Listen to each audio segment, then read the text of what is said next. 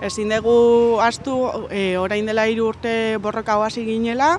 e, bakarra hasi ginen lab moduan jarraitzen dugu azkeneko momentuakin lab bezala mugitzen, e, kalera ateratzen gea beti lab e, e, hitzarmen hau mugitzeko, sinisten degulako, beharrezkoa ikusten degulako, ezin dugu katu e, sektore hau feminizatua dela eta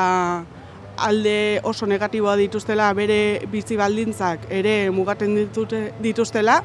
eta ezinezkoa da hiru urte eta gero oraindik e, horrela egotia. Osea, hitzarmen finko bat, osea, hitzarmen propio bat, Nafarroko hitzarmen propio bat sinatu gabe. Ikusten dugu lab izan dela maikide bakarrak